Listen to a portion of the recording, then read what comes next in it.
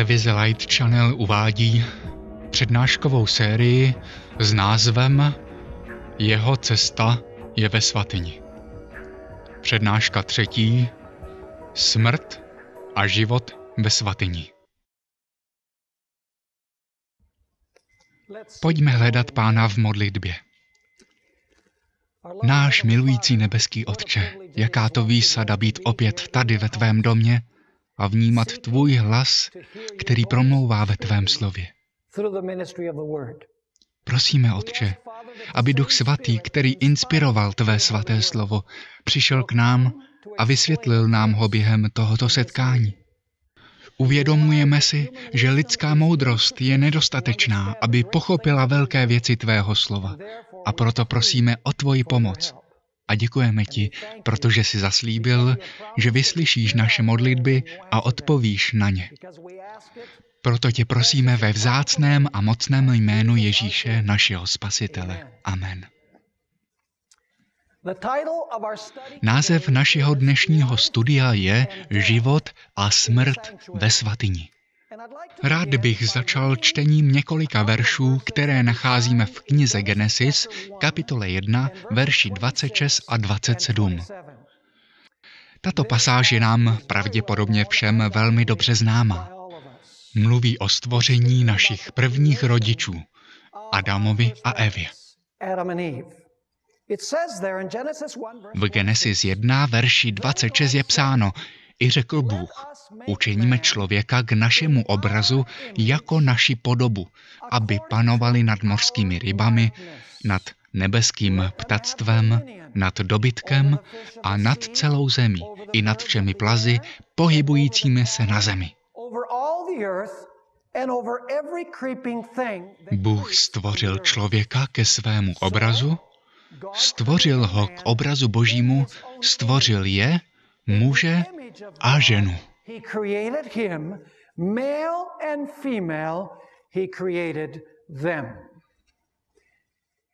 V těchto verších nacházíme, jak jsem se již zmínil dříve, stvoření Adama a Evy v dokonalém světě. Bible nám říká, že byli stvořeni k božímu obrazu a podobě. V té době neexistoval ve světě žádný hřích. A proto také neexistovala žádná smrt. Ve skutečnosti dává Bible jasně najevo, že božím plánem bylo, aby Adam a Eva a lidská rasa žili věčně. Nikdy nebylo božím plánem, aby kdokoliv na této planetě zemřel. Božím plánem bylo, aby člověk odrážel jeho obraz a podobu a žil na věky. Ale člověk neměl žít věčně, protože měl nějaký typ nesmrtelné duše. Bible to velmi dobře objasňuje, že to bylo tajemstvím věčného lidského života. Bůh totiž umístil v zahradě Eden určitý strom. Říká se mu strom života. O tomto stromě se dozvíme v knize Genesis kapitole 2 a verši 9. Tam čtu. Hospodin Bůh dal ze země vyrůst veškerému stromoví, žádoucímu na pohled a dobrému k jídlu. A teď si všimněte. Stromu života uprostřed zahrady a stromu poznání dobrého a zlého. Dostaneme se k tomuto druhému stromu během několika okamžiků. Ale všimněte si, že uprostřed zahrady byl také strom života. Bible jasně ukazuje, že aby Adam a Eva mohli nadále žít, museli nadále jíst ze stromu života. Jinými slovy, neměli nějakou nesmrtelnou duši uvnitř, která by způsobila, že by žili věčně. Jejich život a zdroj života nebyl uvnitř nich. Jejich zdroj života byl venku ve stromu. Chci, abyste si představili strom třeba jako nabíječku baterií a Adam a Eva museli přicházet pravděpodobně každý měsíc a za chvíli řeknu proč, museli přijít a jíst ze stromu života a tímto způsobem se jejich baterie nabila. Povíte si, proč říkáte jednou za měsíc? Jednoduše proto, že ve zjevení 22 verši 1 a 2 se píše, že na nové zemi na stromě života roste každý měsíc ovoce. A tak Bible naznačuje, že na měsíční bázi museli Adam a Eva jít ke stromu života, aby měli podíl na zdroji života a dobili tak svoje baterie neboli dobili svoji energii. Rád bych přečetl několik výroků, jejichž autorkou je Ellen Whiteová, jsou tam poznámky o stromu života. V knize Zdravé žití, strana 45, nacházíme následující citát. Strom života vlastnil schopnost udržovat život. A víme to proto, že Bůh musel vykázat Adama a Evu ze zahrady proto, aby nemohli nadále jíst ze stromu a žít věčně. Ten strom měl tedy tuto životodárnou schopnost. Takže se píše, Strom života vlastnil schopnost udržovat život a dokud z něho Adam s Evou jedli, nemohli zemřít. Životy předpotopních obyvatel, to jsou ti, kteří žili před potopou, byly dlouhé díky schopnosti stromu dávajícího život, která se na ně přenášela od Adama a Evy. A Bible nám říká, že lidé, kteří žili před potopou, někteří z nich se dožili 930, 962, 969 let, protože měli lidské tělo, které bylo nejblíže energii, kterou Adam a Eva obdrželi z rukou Stvořitele. V knize Patriarchové a proroci neboli Na úsvitu dějin, strana 60, najdeme jiné významné prohlášení. Patriarchové a proroci jsou jednou z mých oblíbených knih. Přináší historii písma od pádu Lucifera v nebi až do doby židovské monarchie. A tento citát říká, aby měl život věčný, musel by člověk nadále požívat ze stromu života. Je-li toho zbaven, bude se jeho životnost postupně zmenšovat, dokud život zcela nevyhasne. Takže zdroj života pro člověka nebyl v něm. Zdroj života pro člověka byl venku, v božím stromu. Člověk neměl nějakou nesmrtelnou duši, která by způsobila, aby mohl žít navždy. Bible nám říká, že proto, aby mohl věčný život pokračovat, člověk musel nadále jíst ze stromu života. V zahradě byl ještě další strom, o kterém čteme, a tím stromem byl strom poznání dobrého a zlého. Pojďme si přečíst z knihy Genesis kapitoly 2 a verše 15 až 17. Verš 15 až 17. Píše se tu. Hospodin Bůh vzal člověka a umístil ho v zahradě v Edenu, aby ji obdělával a střežil. A hospodin Bůh člověku přikázal – ze všeho stromový zahrady směle jes, ale ze stromu poznání dobrého a zlého z toho nejes, neboť v den, kdybys z něho jedl, jistě zemřeš. V hebrejštině se píše zemřeš smrtí. Nevím o žádném jiném způsobu umírání, ale Bůh říká, opravdu zemřete, pokud budete jíst z tohoto stromu. Proč tedy Bůh umístil tento strom v zahradě Eden? Jednoduše tak, aby mohl dát člověku svobodu volby. Víte, kdyby Bůh neumístil tento strom v zahradě, člověk by měl jen jednu možnost. A to je sloužit Bohu. Ale skutečnost, že Bůh dal tento strom do zahrady, ukazuje, že Bůh dal člověku potenciálně možnost následovat, co Bůh řekl ale byla mu také dána potenciálně možnost říci Bohu ne a učinit rozhodnutí v rozporu s Bohem. Jinými slovy, strom poznání dobrého a zlého jasně ukazuje, že Bůh dal člověku svobodu volby. Je tedy velmi důležité si uvědomit, že Bůh ustanovil základní pravidla. Bůh byl zdrojem morálních rozhodnutí. Bůh byl ten, kdo řekl, že nejíst ze stromu je dobré a jíst ze stromu je zlé. Neřekl člověku, víš, jen si vyber jakýkoliv strom, z kterého nechceš jíst. A bude to tak podle mě v pořádku.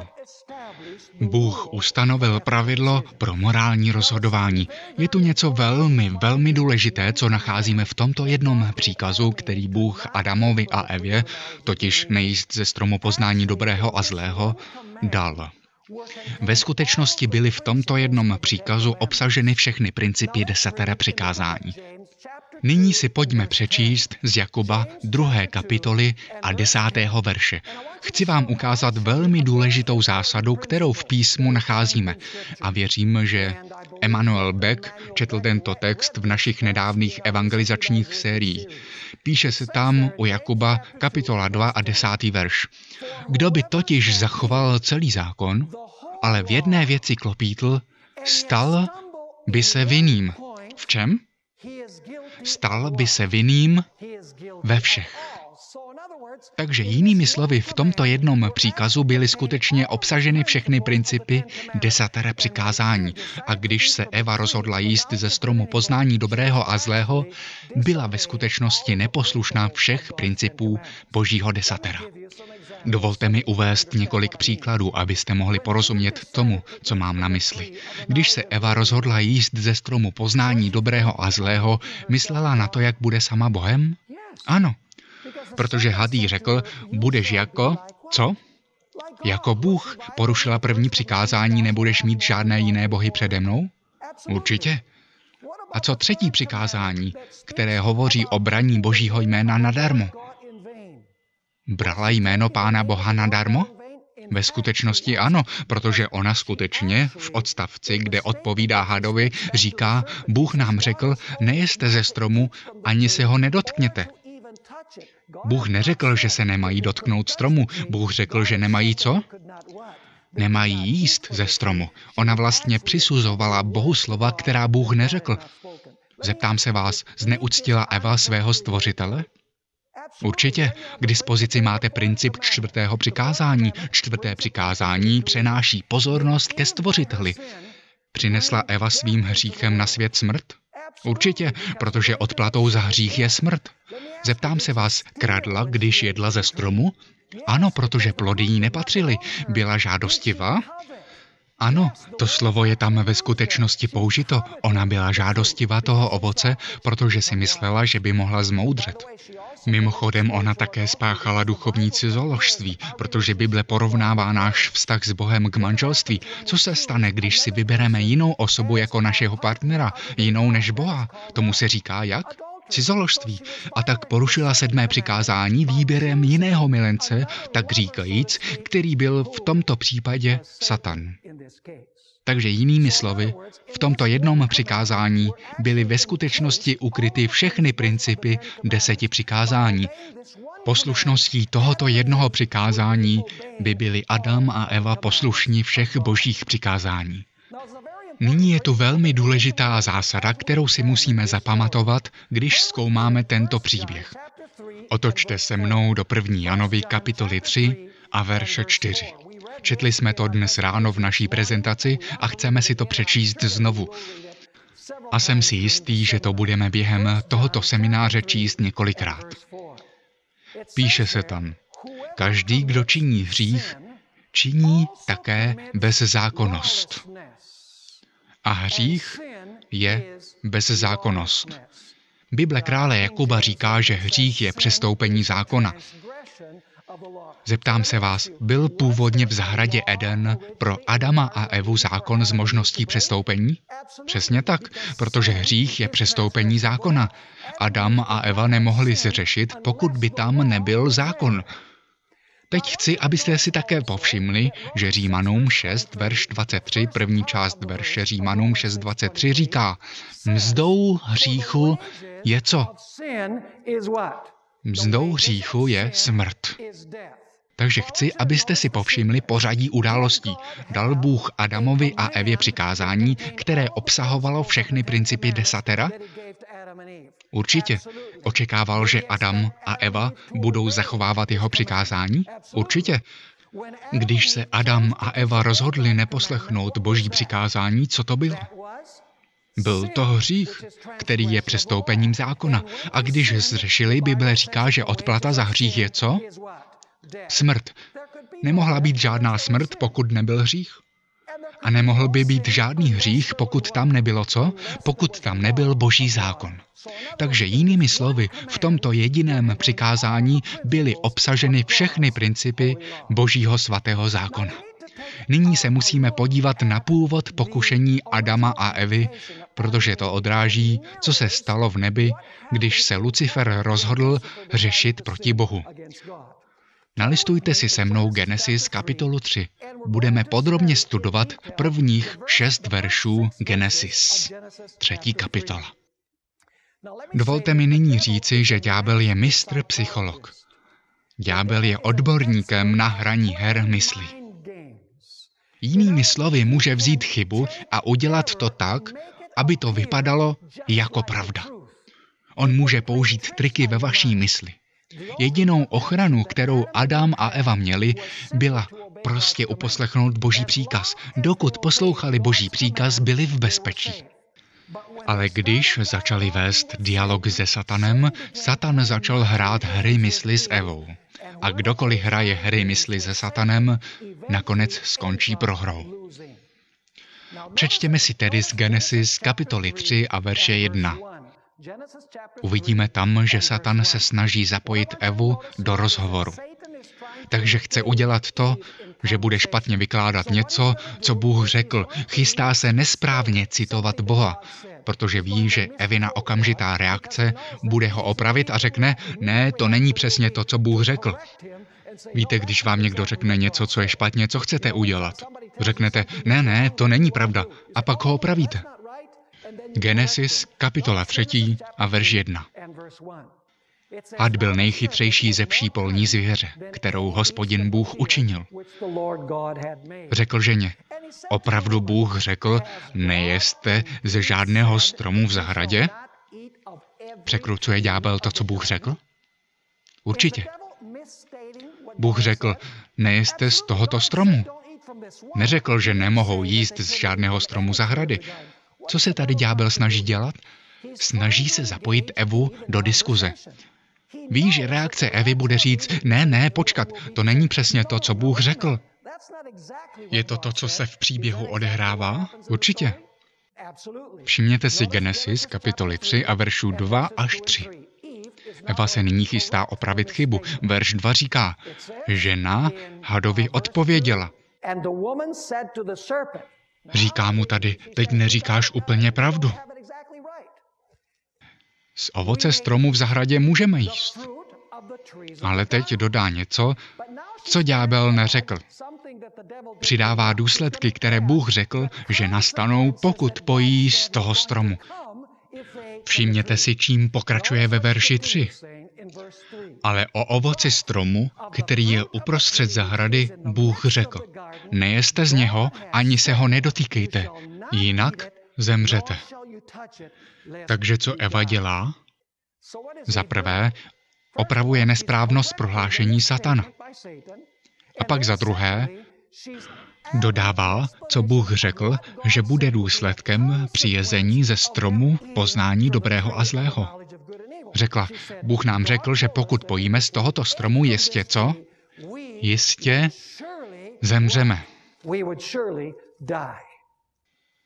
Nyní ďábel má přesně tam, kde ji chce mít. Všimněte si první lži, kterou zde pronese. První nehorázná otevřená lež v Genesis kapitole 3 a verši 4.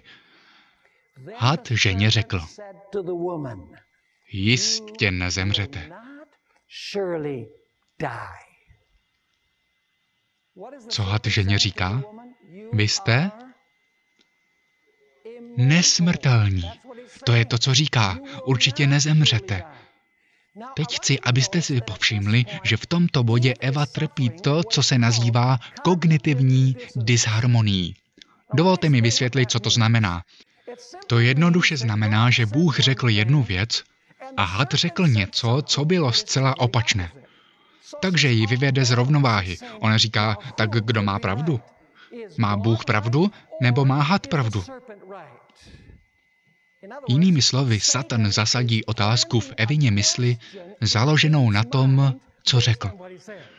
Když říká určitě nezemřete, ví, že další myšlenka Evy bude, pokud nezemřeme, proč Bůh řekl zemřete. Rozumíte tomu? Hraje tady ďábel hry mysli? Určitě ano. Nemůžete se hádat s ďáblem. Nemáte důvod, proč se s ním hádat. On tě pokaždé porazí. Co Eva měla říct je, ano, víš, zdá se, že máš pravdu v tom, co říkáš, dává to smysl, je to logické, ale žijeme každým slovem, které vychází z božích úst. My prostě posloucháme, co Bůh řekl. My posloucháme Boží slovo. To byla jejich jediná záchrana. Teď chci, abyste si všimli, že ďábel zasadil myšlenku v mysli Evy otázku a tou je. No, Bůh řekl, že zemřeme. Had říká, že nezemřeme. No, jestliže nezemřeme, jaký postranní úmysl má Bůh, když řekl, že zemřeme? Dovolte mi se zeptat, Měl ďábel odpověď na otázku, kterou zasadil v Evině mysli? Vidíte, to všechno je hra mysli. Ďábel hraje hru z její schopností uvažování. A když se snaží naslouchat důvodům ďábla, je ztracena. Měla od tohoto stromu uprchnout. Teď chci, abyste si všimli, co jí ďábel musel říci v Genesis kapitole 3 a verši 5. Ďábel říká, aha, ty chceš vědět, proč ti Bůh řekl, že zemřete, když nemáte umírat, že? Chceš to vědět, Evo? A Eva povídá, jo, řekni mi o tom. Ve verši 5 o tom mluví, neboť Bůh ví.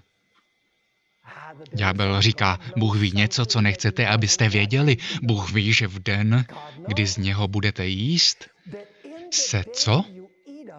Se vaše oči otevřou. Co říká? Bůh chce, abyste byli co? Chce, abyste byli slepí. Je tu nějaká cená informace, kterou Bůh před vámi skrývá. Chce, abyste byli slepí, chce slepou službu, chce slepé podrobení, jednoduše protože to tak řekl. Takže je psáno, Bůh ví, že v ten den, kdy z něho pojíte, se vaše oči otevřou. A jak zní další věta? A budete jako Bůh. Studovali jsme to minulé, že? Co Lucifer řekl v nebi? Budu rovný nejvyššímu. Teď říká Evě, budete jako co? Budete jako Bůh. Ale teď chci, abyste si všimli něčeho velmi důležitého. Ďábel neříká, že ona bude jako Bůh v pravém slova smyslu. Říká, že Eva bude jako Bůh v určitém omezeném smyslu. V jakém smyslu? Pojďme dokončit čtení toho verše, neboť Bůh ví, že v ten den, kdy z něho pojíte, otevřou se vám oči a budete jako Bůh. A co? Budete znát dobré i zlé.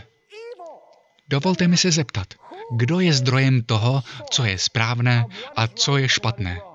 Kdo stanovuje standard toho, co je správné a co je špatné? Bůh. Bez nás. Bůh řekl, nejeste z tohoto stromu, protože pokud budete jíst ze stromu, bude to zlé. Dobré znamená nejíst. Špatné znamená jíst ze stromu. Bůh stanovil pravidla a samozřejmě v tom pravidle byly obsaženy všechny principy desatera přikázání. Teď chci, abyste si všimli, že zdroj morálních rozhodnutí není uvnitř Evy, je mimo Evu. Ale co ďábel Evě říká?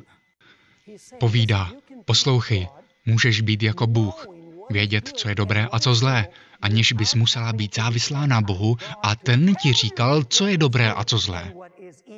Víte, že toto je první postmoderní jedinec v historii světa? Myšlenky Emerging Church sahají do samotné zahrady Eden – Myšlenka, že můžete být jako Bůh ve smyslu, že se můžete rozhodnout, co je dobré a co zlé, co je správné a co špatné, aniž byste se odkazovali na boží objektivní zákon a jeho slovo, ale spíše vám vaše vlastní srdce řekne, co je správné a co špatné, je to totéž, o čem se Lucifer přel v nebi s anděli? Pamatujete si ten text, který jsem četl z Velkého sporu strana 4 dnes ráno? Řekl, že andělé nepotřebují žádný zákon, že jejich vlastní srdce jim může ukázat, co je správné a co špatné? Říká to samé Evě. Říká, můžete být nesmrtelní, pokud pojíte z tohoto stromu. A vy můžete být vlastním zdrojem morálních rozhodnutí. Nemusíte spolehat na Boha, který vám řekne, co je dobré a co je zlé. Ne, můžete se rozhodnout podle sebe, nemusíte Bohu poskytovat slepou službu, můžete být zdrojem vašich vlastních morálních rozhodnutí. Ve skutečnosti ďábel pomlouvá něco ještě většího než tohle. A musíte trochu číst mezi řádky, abyste to viděli. Ale co Satan opravdu říká je, Evo, kdysi v minulosti jsem z toho stromu pojedl. A když jsem z toho stromu pojedl, nebo spíše kdysi v minulosti, Bůh z toho stromu pojedl. A když Bůh z toho stromu pojedl, dostal tyto úžasné síly nesmrtelnosti a tu úžasnou moc rozlišovat mezi dobrem a zlem. Ale poté, co Bůh z toho stromu pojedl, nechtěl, aby měl někdo jiný tuto schopnost. A tak to, co udělal potom, bylo zastrašit každého a říct jim, hej, nejste z toho stromu, protože zemřete. Ale Bůh ve skutečnosti v hloubi duše věděl, podle satana, že pokud ostatní lidé z něj pojí, bude mít kolem sebe soupeře, protože by měli stejnou moc, jako má on. Rozumíte tomu, co tu ďábel říká? Je to téměř nespochybnitelný klam, který tu máme. Samozřejmě, že nám Bible říká, že Adam a Eva jedli ze stromu. Genesis kapitola 3, verš 6. Píše se tu, žena viděla, chci, abyste si všimli, jak v tom byly zapojeny její smysly, když uviděla, že je to strom dobrý k jídlu a lákavý pro oči, strom žádoucí pro získání moudrosti, zeptám se vás, bylo to moudré? V jakém smyslu? Žádoucí pro získání moudrosti, co ďábel řekl, bylo to moudré v jakém smyslu? Pro rozhodování o tom, co je dobré a co zlé, podle sebe. Píše se, žádoucí pro získání moudrosti. Vzala z jeho ovoce a jedla. Dala také svému muži, který byl s ní a jedl i on. Chápete, co se tady děje? A tak teď Adam a Eva zřešili. Oni přišli o tak říkajíc jejich duchovní šat spravedlnosti. A protože ztratili svůj duchovní šat spravedlnosti, něco se jim přihodilo. Podívejte se do Genesis kapitoly 3 a verše 7. Genesis 3, verš 7. Zde nacházíme první důsledek hříchu Adama a Evy. Píše se tu. Oběma se otevřeli oči a poznali, že jsou nazí. Vidíte, předtím byli přikryti šatem světla. Žádná umělá roucha. Nyní však roucho světla zmizelo. Nejdříve ztratili roucha duchovní spravedlnosti a výsledkem bylo, že ztratili jejich skutečná roucha světla. A tak je psáno, oběma se otevřeli oči a poznali, že jsou nazí. Sešili tedy fíkové listí a udělali si bederní roušky. Jak se Adam a Eva pokusili vyřešit problém své nahoty? Udělali si oděvy vyrobené z čeho? Z fíkových listů. Co tedy oděvy z fíkových listů představují? Kontext nám říká, že představují omluvu za to, že Adam a Eva podlehli hříchu. Přečtěme si z Genesis kapitoly 3 veršů 12 a 13. Třetí kapitola, verše 12 a 13. Bůh přijde a říká Adamovi, co si to udělal? Sledujte odpověď. Člověk odpověděl, žena, kterou si dal, aby byla se mnou, ta mi dala z toho stromu a já jsem jedl. Co se snaží dělat? Snaží se projít bez průšvihu. Nabízí výmluvy za svůj hřích. A pak Bůh přichází k Evě ve 13. verši. Na to hospodin Bůh ženě řekl, co si to učinila. Žena řekla, had mě podvedl a já jsem jedla. Vidíte, že fíkové listy jsou omluvou, kterou Adam a Eva nabídli za svůj hřích. Snaží se ospravedlnit svůj hřích. Ale víte, co je zajímavé? Dokonce i poté, co se přikryli fíkovými listy, Bůh přichází do zahrady a hledá je. Adame, kde jsi? Evo, kde jsi? Jsou v tomto okamžiku přikryti fíkovými listy. Muž říká, ach, ukryli jsme se uprostřed stromů v zahradě, protože jsme byli nazí. O jaké nahotě zde mluvíme? Není to jen fyzická nahota. Fyzická nahota přišla jako důsledek ztráty jejich duchovního roucha spravedlnosti. A víte, co ještě? Protože ztratili svá duchovní roucha spravedlnosti, ztratili i svá fyzická roucha světla, která je přikrývala. A nakonec budou trpět konečnou nahotu, kterou apoštol Pavel nazývá smrtí. 2. Korinským kapitole 5, A poštol Pavel porovnává smrt s nahotou. To je konečná nahota, ale jde to po pořadě. Máte jako první duchovní nahotu hřích, a pak máte fyzickou nahotu, roucho z listů. A pak důsledkem toho je konečná nahota, což je smrt. A tak Adam a Eva stojí v zahradě, třesou se a říkají, Bůh dal svůj zákon, my jsme přestoupili jeho zákon. Spáchali jsme hřích a odplatou za hřích je smrt. Ztratili jsme naše duchovní roucho spravedlnosti, ztratili jsme naše fyzické roucho světla. A teď jediná věc, která nás čeká, je fyzická konečná nahota, kterou je smrt. A když se třesou, Bůh přináší krásné evangelijní zaslíbení v Genesis kapitole 3 a verši 15. Genesis kapitola 3, verš 15.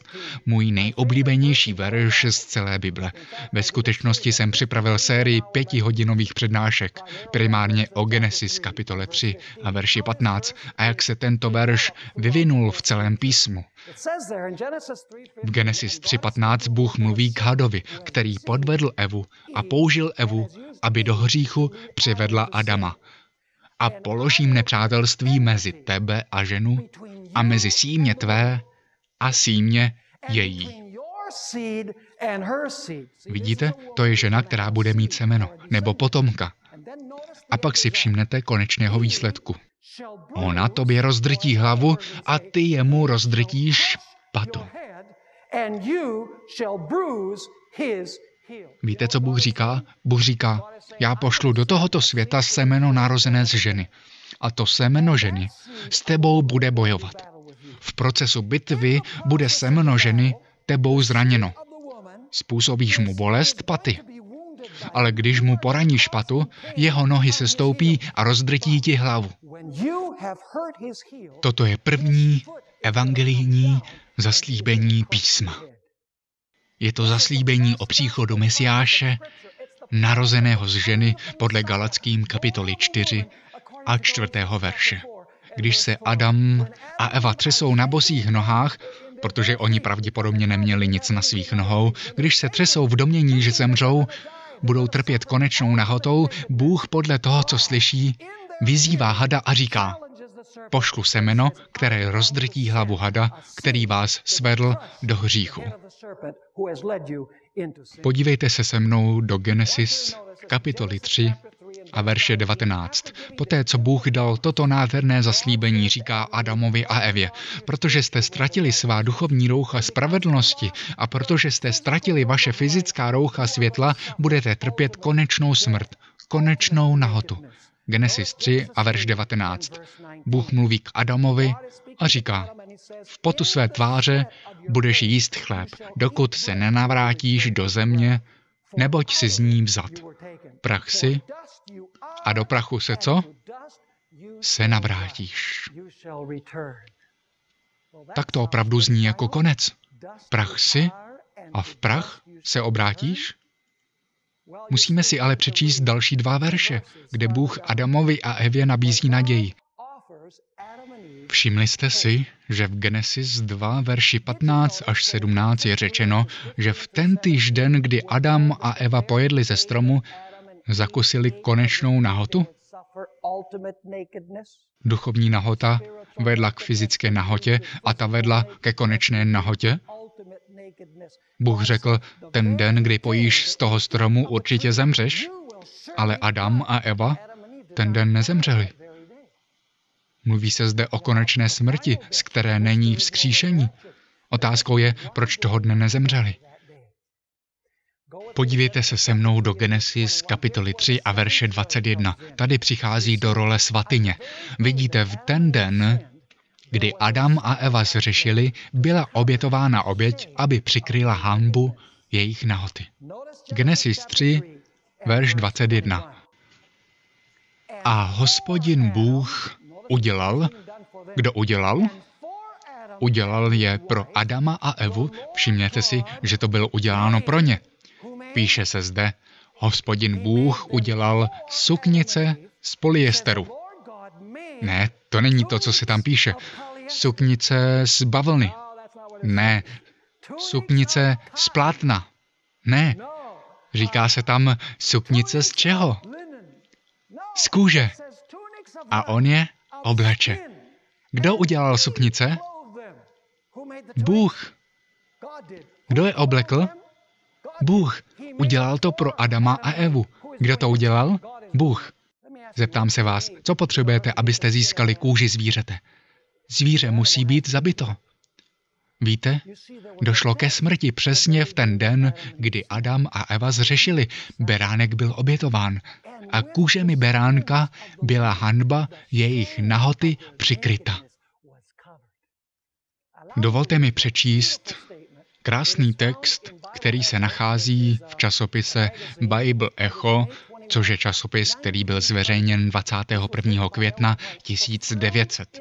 Napsala ho Ellen Whiteová. Hluboký pohled do toho, co se ten den stalo. Píše se tam, jakmile se Adam poddal pokušení satana a udělal přesně to, co Bůh řekl, že by neměl dělat, postavil se Kristus, syn Boží, mezi živými a mrtvými a řekl, nechť trest padne na mě, budu stát na místě člověka, dej mu další zkoušku. Přestupek přivedl celý svět pod trest smrti. Ale v nebi zazněl hlas. Našel jsem výkupné. Není to krásný text? Mimochodem, je v souladu s Biblí, protože první Petrova, kapitola 1, verše 18 až 20 nám říkají, že Ježíš byl předurčen před založením světa jako beránek. Zjevení 13, verš 8 říká, že byl zabit od založení světa. Ne fyzicky, ale byl zabit jako zaslíbení. Jednalo se o zaslíbení přicházejícího Mesiáše. Jinými slovy, přesně ten den, kdy Adam a Eva zřešili, Ježíš řekl, vezmu na sebe jejich trest smrti, zemřu na jejich místě, budu žít život, který by měli žít oni. A výkupné bylo v ten den nalezeno. Celá tato ceremonie poukazovala na Ježíše Krista. Teď poslouchejte. Pokud byl člověk přirozeně nesmrtelný, proč musel Ježíš přijít, aby zemřel, aby dal svůj život, jestliže byl nesmrtelný? Vidíte, myšlenka o nesmrtelnosti duše způsobuje to, že považuje Ježíše Krista za zbytečného. Jenže my máme život, protože Ježíš zemřel. Ne proto, že máme nějakou nesmrtelnou duši uvnitř sebe. Takže učení, že člověk je nesmrtelný, snižuje důležitost smrti Ježíše, aby nám dal život. Kdybychom už měli nesmrtelný život, proč by Ježíš musel zemřít, aby nám dal to, co jsme už vlastnili, nebo to, co jsme už měli? Podívejme se, jak se to naplnilo. Jan 19. kapitola a verše 23 až 24. Jistě si pamatujete, že duchovní nahota vedla k fyzické nahotě a pak ke konečné nahotě. To je to, co si Adam a Eva zasluhovali. Jak by tedy mohli uniknout trestu smrti? Hanba jejich nahota mohla být zakryta pouze smrtí beránka. Podívejte se do Jana 19, 23 a 24. Podělím se o něco, co pro vás možná nebude velmi příjemné, ale je to biblické. Když umělci kreslí Ježíše na kříži, obvykle ho pokryjí bedenní rouškou. Ale písmo učí, že Ježíš vysel mezi nebem a zemí úplně nahý. Přečtěme si Jana 19, verše 23 a 24. Je zde velmi hluboká symbolika. V Janovi 19, verši 23 se říká, vojáci pak, když Ježíše ukřižovali, vzali jeho šaty a rozdělili je na čtyři díly.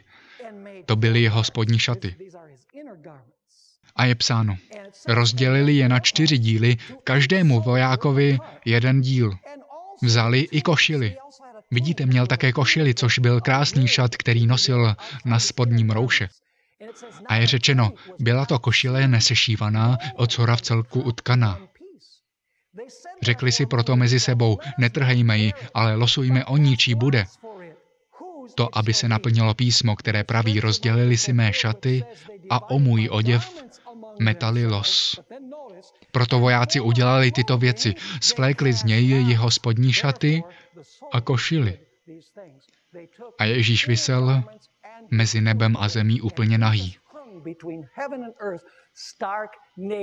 Asi si říkáte, co to symbolizuje. Zeptám se vás, díval se otec na Ježíše jako na vinného? Ano, určitě. Vzal na sebe Ježíš naší duchovní nahotu hříchu? Zcela jistě ano. Bible říká, že na sebe vzal prokletí. Ten, kdo nepoznal hřích, byl učiněn hříšným za nás. Jinými slovy, Ježíš vzal na sebe naši duchovní nahotu a proto na kříži vysel jak? Fyzicky nahý. A co trpěl? Trpěl konečnou nahotu za Adama a Evu a všechny jejich potomky. To je to, na co v Genesis 3, verš 21 poukázal smrt beránka na pokrytí hanby naší nahoty. Přichází otázka, kdy je hanba naší nahoty přikryta? Pojďte se mnou do Galackým kapitoly 3 a přečtěme si verš 27. Galackým 3, verš 27. Velmi důležitý verš, který nám říká, kdy jsme přikryti duchovním rouchem Kristovy spravedlnosti. Spravedlnost, kterou zajistil, když vzal náš hřích na sebe. Galackým 3, verš 27. Vždyť vy všichni, kteří jste byli, co? Pokřtěni. A jaké je další slovo? Další předložka? V Krista. Tak co? Krista jste oblékli. Tento výraz oblékli se používá v Novém zákoně, kde je o obléknutí oděvu, obléknutí roucha.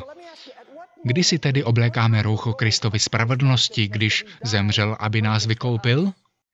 Oblékáme si ho v okamžiku křtu. Řeknete si, pastore Bore, proč v okamžiku křtu? Je to velmi jednoduché. Naším křtem prožíváme miniaturu toho, co Ježíš prožil na zemi. Ježíš zemřel. Souhlasíte s tím? Ježíš byl pohřben. Je to tak? A Ježíš byl vzkříšen. Pro koho to udělal? Udělal to pro nás. On za nás zemřel, byl pohřben za nás a byl vzkříšen pro nás. Jak se ale stávám součástí toho, co Kristus udělal? Jak se mohu začlenit do Krista?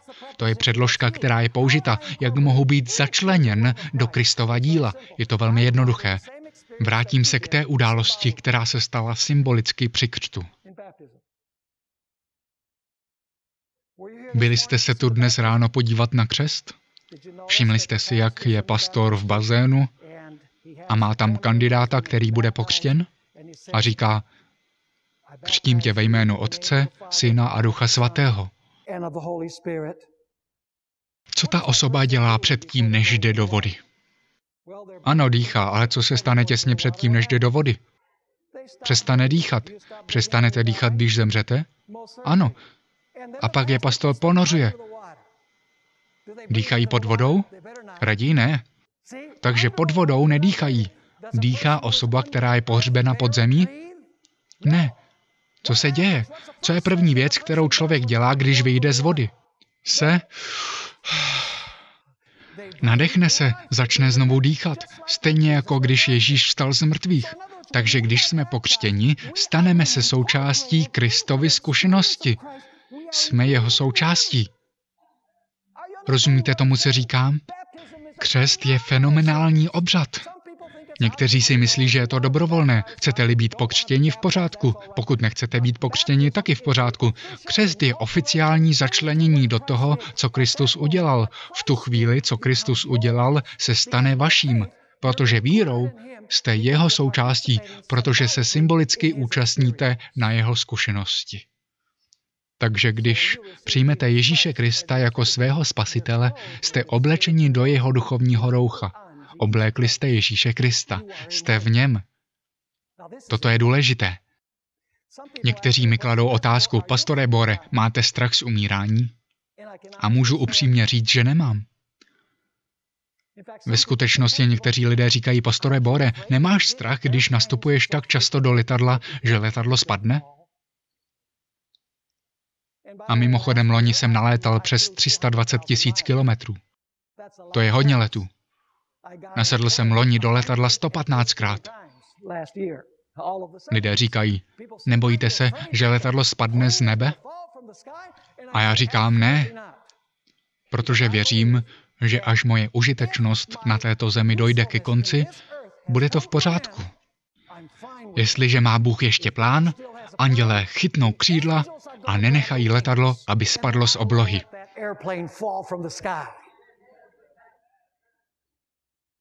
Říkáte, jak můžete mít takovou jistotu? Proč nemáte strach ze smrti? Víte proč? Protože jsem v Kristu. Protože když jsem byl pokřtěn a přijal Ježíše jako svého spasitele, jsem v něm. A Ježíš zemřel, Ježíš byl pohřben, Ježíš byl vzkříšen, vzal můj trest na sebe, když projdu touto zkušeností, bere svou spravedlnost a přikrývá mě jeho spravedlností. Už nejsem více sám v sobě, jsem v něm. Je to dobrá zpráva? Na to poukazuje Genesis 3.21, kde je obětován beránek a hanba nahoty je přikryta. Kde je tedy náš zdroj života? Uvnitř v nějaké nesmrtelné duši nebo venku v Ježíši Kristu? Náš zdroj života je venku v Ježíši Kristu, ne v nás. Přečtu tu nádhernou pasáž o vzkříšení z 1. Tesalonickým kapitoly 4 verše 15 a 16. Je zde vyjádření, kterého chci, abychom si všimli. Mluví se zde o těch, kteří umírají a o vzkříšení, které se odehraje, až přijde Ježíš. Je psáno. Neboť toto vám říkáme slovem pánovým. My živí, kteří jsme tu ponecháni do příchodu pána, jistě nepředejdeme ty, kteří zesnuli, protože za zvuku přikazujícího zvolání, hlasu archanděla a boží polnice, sám pán se stoupí z nebe. A teď pozorně poslouchejte. A mrtví? Promiňte, neslyším vás? Mrtví v Kristu vstanou nejdříve. Když jsme se dostali do Krista, když jsme ho přijali jako svého spasitele a byli pokřtěni, jsme v něm. Takže máme se bát smrti? Ne, protože se tady říká, že mrtví v Kristu budou co? Budou vzkříšeni jako první. Boží lid povstane, ti, kteří jsou v Ježíši Kristu. Naše naděje života není v nás. Naše naděje života je v něm. Nemáme nesmrtelnost v sobě, nesmrtelnost je v Ježíši. Ježíš řekl, protože žijí, budete také žít. Svatyně jasně ukazuje na základě obětování milionů zvířat, že odplatou hříchu je smrt a jediný způsob, jakým může být hřích odpuštěn, je, když je vzat do svatyně do přítomnosti Boží skrze krev Ježíše Krista. Jeho jménu čest a sláva. Potom, co Bůh dal v Genesis 3.21 zaslíbení přikrytí nahoty člověka, skrze smrt beránka vyhnal Adama a Evu ze zahrady. Pojďme si o tom přečíst Genesis kapitole 3 verších 22 až 24. Zahrada je jako svatyně svatých a pak přejdou ke vstupní bráně zahrady a nabídnou tam jejich oběť. Říkáte, jak to víte? Protože u vchodu do zahrady Eden byli cherubíni. Je to boží příbytek. Lidé jsou vyhozeni. Jednoho dne se tam díky Ježíši Kristu budeme moci znovu vrátit. Genesis 3.22. I řekl hospodin Bůh, ale člověk je jako jeden z nás v tom, že zná dobré a zlé. Ať teď nevstáhne ruku, aby vzal a jedl také ze stromu života a žil na věky. Musel člověk jíst ze stromu, aby žil věčně? Samozřejmě, potom by neměl nesmetelnou duši, kdyby dále nejedl ze stromu. Verš 23. Proto hospodin Bůh poslal člověka pryč ze zahrady Eden, aby obdělával zemi, z níž byl vzat. Vyhnal ho a postavil od východu k zahradě Eden cheruby. Kde byl vchod do svatyně? Na východě. Je psáno, vyhnal ho a postavil od východu k zahradě Eden cheruby, zmíhajícím se plameným mečem, aby střežili cestu ke stromu života. Kde byl zdroj života pro člověka? Byl ve stromu života. A co ten strom života představoval? Představoval život ne v nás, ale v Ježíši Kristu. Takže Bible říká, že neexistuje žádná taková věc, jako nesmrtelný hříšník. Ve skutečnosti všimněte si, co Bible říká o nesmrtelnosti. První Timoteova kapitola 6 a verš 16. Je tam řečeno, kdo je tím jediným, který je nesmrtelný. Tam čteme tato slova, které svým časem ukáže blahoslavený a jediný panovník, král kralujících a pán panujících. A nyní si všimnete, on jediný má nesmrtelnost. A teď se vás zeptám, rozumíte tomu slovu jediný? Jiný překlad říká, kterýž sám má nesmrtelnost. Kdo je tedy ten jediný nesmrtelný? Král králů a pán pánu. A pak to pokračuje. A přebývá v nepřístupném světle a jeho nikdo z lidí nespatřil a nemůže spatřit.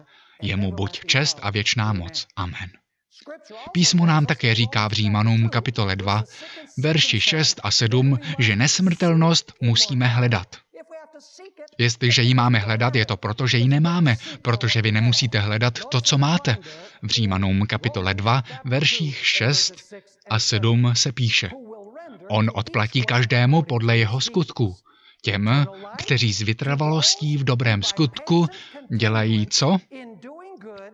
Hledají slávu, čest a nesmrtelnost, dá věčný život.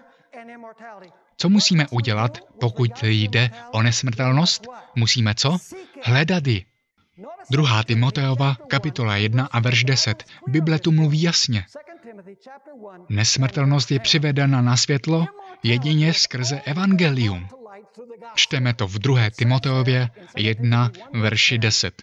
A mluví se tu o plánu spasení, která se nyní ukázala zjevením našeho zachránce Ježíše Krista. On zničil smrt. Když je řečeno, že zničil smrt, nemluví se o fyzické smrti, protože věřící v Krista stále umírají. Mluví se o konečné nahotě, konečné smrti. Takže je psáno, on zničil smrt a skrze evangelium zjevil život a nesmrtelnost skrze evangelium Ježíše Krista. Podívejme se také do 1. Korinským, kapitola 15, 53 a 54. Velmi jasně se zde říká, že nesmrtelnost musí být obléknuta. Jestliže ji musíte obléknout, je to proto, že ji nemáte. A poštol Pavel zde mluví o vzkříšení. Je psáno, toto pomíjivé musí obléci nepomíjivost. Toto smrtelné musí obléci nesmrtelnost. A až toto pomívé oblékne nepomíjivost a toto smrtelné oblékne nesmrtelnost, tehdy se naplní, co je psáno. Smrt je pohlcena, přišlo vítězství.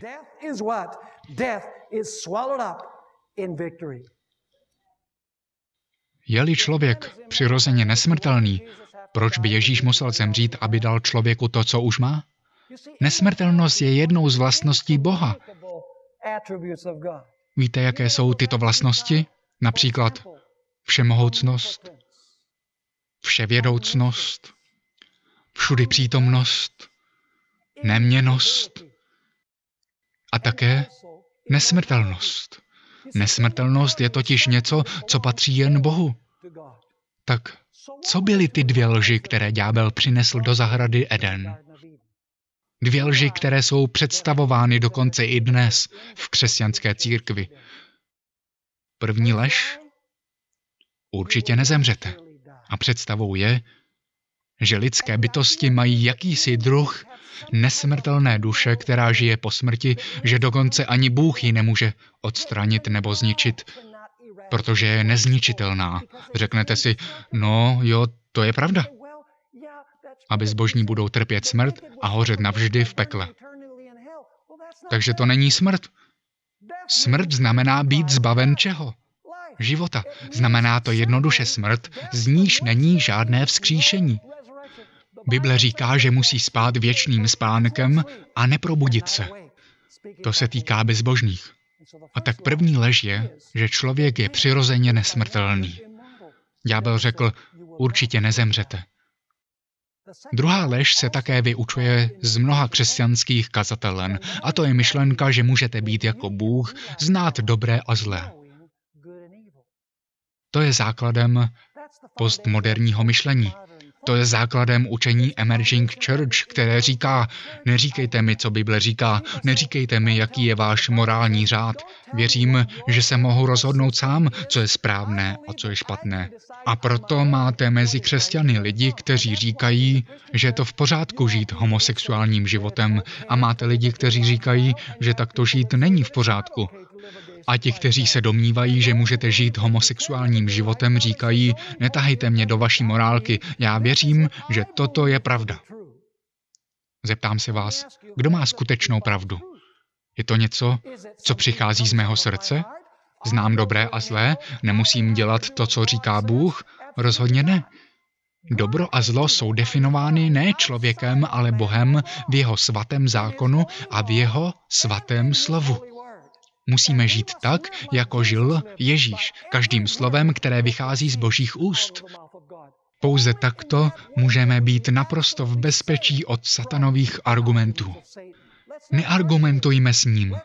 Vezměme Bibli tak, jak je psána. A pojďme jednoduše poslouchat Boha, protože boží cesta je vždy tou nejlepší cestou. Ďábel chtěl, aby si lidé mysleli, že když se zbaví zákona, budou opravdu svobodní a budou schopni vybrat si svůj vlastní morální životní styl. Zeptám se vás, funguje to dost dobře? Jen se podívejte na svět. Války a zprávy o válkách, korupce, krádeže, únosy, vraždy. Jaký je svět bez božího zákona?